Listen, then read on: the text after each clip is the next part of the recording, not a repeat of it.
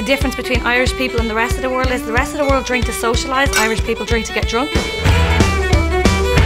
Swiss are a little bit more refined, they're a little bit more. Well behaved in public, uh, maybe. We're a little bit crazier. There's lots of in there. You do miss a lot of things from back home.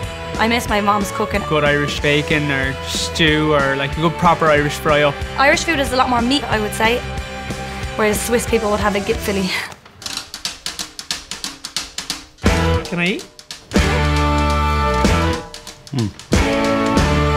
Very good. It's not too tough. Yeah, that's really good, yeah. I like that. I like the temperature it's cooked at too. Not as good as the mammy's though.